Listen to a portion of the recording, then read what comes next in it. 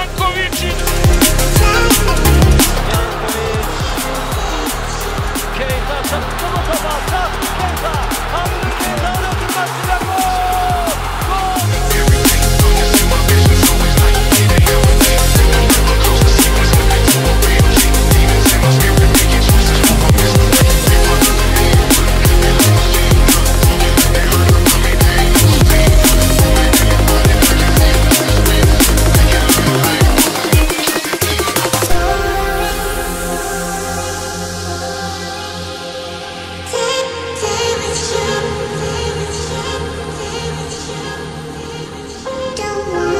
Yankoviç irəliləyir mərkəzə doğru. Yenə yıxdılar onu. Fransalı referi səsləndirir.